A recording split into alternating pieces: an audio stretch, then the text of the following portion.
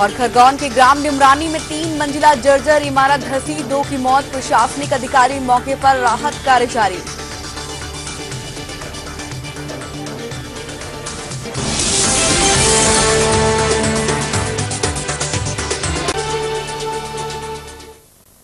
नमस्कार, आप देख रहे हैं बंसल न्यूज़। मैं हूँ आपके साथ दीपा। बुलेटिन की शुरुआत करते हैं इस वक्त की बड़ी खबर के साथ।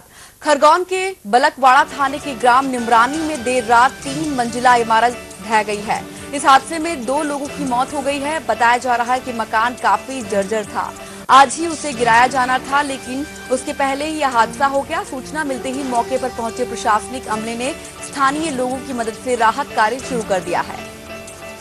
आपको बता दें कि बड़ी खबर खरगोन के निमरानी गाँव की है, जहाँ पर एक तीन मंजिला मकान ढह गया है, जिसमें दो लोगों की मौत हो गई है। इस वक्त की बड़ी खबर हम आपको बता रहे हैं, जो खरगोन के निबरानी गाँव से मिल रही है, जहाँ पर एक तीन मंजिला इमारत ढह गई है।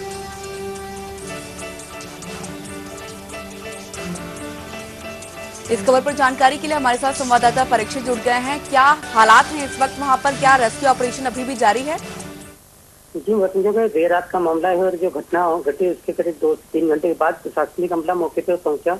और जेसीबी के द्वारा उसकी मदद से जो अमले जो दबे हुए थे मलबे में पिता और पुत्र उन्हें निकाला गया। पिता की तो मौके पर ही मौत हो चुकी थी लेकिन जब पुत्र को धामत ले जाया जा रहा था उस दौरान उसकी भी मौत हो गई। यहाँ मैं बताना चाहूँगा कि ये जो मकान काफ़ी जर्जर और काफ़ी पुराना मकान था जिसे गिराए जाने के अधिक प्रयास किए जाने थे। लेकिन ये घटना जो हुई है इसके अंदर पिता पुत्र की मौत हो गई। लेकिन जो पीछे इसमें पत्नी और एक पुत्र जो सोए हुए थे और इसकी माँ वो तीनों बच गए हैं मौके से।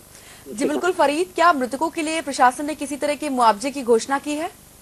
जी फ़िलहाल अभी इसी इसमें किसी तरह की मुआवजे की बात तो सामने नहीं है लेकिन ग्रामीण काफ़ी आक्रोशित है क्योंकि यह हाईवे पर ऐसे ग्राम है निमराली और यहाँ पर काफ़ी संख्या में फैक्ट्री मौजूद है लेकिन इस तरह की एंबुलेंस की सुविधा या फिर फायर ब्रिगेड इस तरह की सुविधा होने से कई बार बड़े हादसे होते हैं उसमें जनहानि का सामना करना पड़ता है इससे ग्रामीण काफ़ी आक्रोशित है। जी बिल्कुल फरीद क्या इस घटना में कोई घायल भी हुआ है? नहीं, इसमें टोटल वहाँ पे पाँच लोग मौजूद थे, जिसमें सास, बहू है तो दो माँ, दो वर्ष के जो पुत्र था, वो पीछे सोए थे। और ये पिता और पुत्र जो घर के अंदर सोए थे। देर रात में हालाँकि उन्हें आशंका हुई, जिसके चलते वो खुद भी बाहर निकल रहे थे। लेकिन हादसा इतना तुरंत हुआ जिसकी वजह से वो लोग बाहर नहीं निकल पाए और वो पिता और पुत्र मलबे में दब गए, जिसमें राज किशोर जी घर में जिनकी तो मौके पर ही मौत हो चुकी जी, बिल्कुल, फरीद, जानकारी के लिए बहुत बहुत शुक्रिया आपका। तो खरगोन के निमरानी गाँव में एक तीन मंजिला इमारत ढह गई है। जहाँ पर दो लोगों की मौत हो गई इस घटना में। प्रशासनिक अमला मौके पर पहुँचा। रेस्क्यू ऑपरेशन अभी भी जारी है।